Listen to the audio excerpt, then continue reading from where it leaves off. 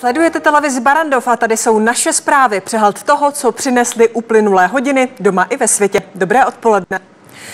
Parazit jménem piják lužní se z jihu Moravy šíří do Česka, zatímco klíště je hrozbou pro člověka kvůli přenosu klíšťové encefalitidy a boreliozy, piják lužní je postrachem psů.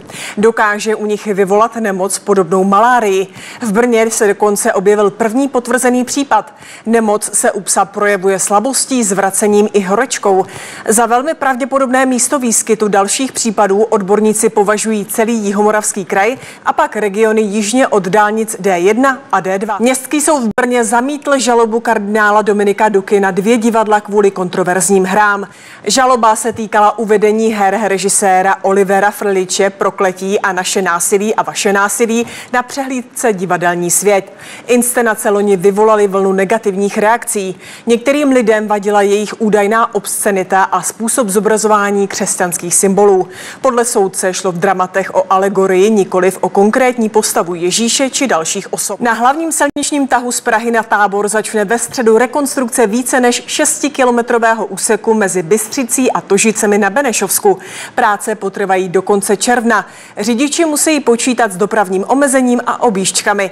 Investorem akce za 133 milionů korun je ředitelství silnic a dálnic. Zlepšit léčbu nádorových onemocnění by mohly látky s obsahem tantalu.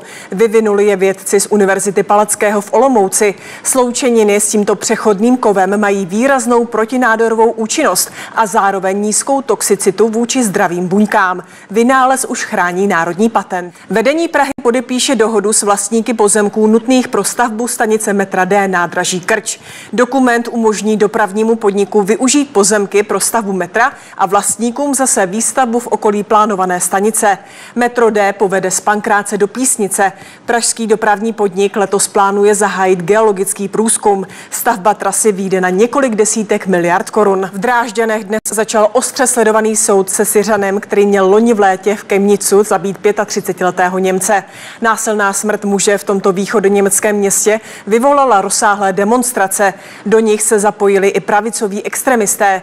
Obžalovaný Alá S. podle státního zastupitelství v noci na 26. srpna spolu s jedním Iráčanem, po němž policie stále pátrá, v centru města ubodal Němce s kubánskými kořeny Daniela Hiliga. Dvě další osoby utrpěly zranění. Alá S., který má ve Spolkové republice status uprchlíka, odmítá, že by měl s činem cokoliv společného. Na noži, který se po útoku našel, policie žádné stopy jeho DNA nenašla a státní zastupitelství tak staví především na jednom svědkovi, který ale už svou výpověď změnil. Pražský vrchní soud nevyhověl žádosti bývalého hejtmana středočeského kraje Davida Ráta, aby odebral případ údajné korupce Krajskému soudu v Praze. Rád v lednu uvedl, že považuje soud za podjatý. Projednávání případu chtěl přemístit k Pražskému městskému soudu. Energetický regulační úřad si došlápnul na společnost Stabil Energy.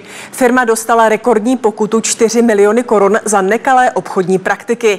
Jde o dosud nejvyšší sankci uloženou za protispotřebitelské chování jednání. V jediném správním řízení bylo firmě Stabil Energy prokázáno 1179 přestupků.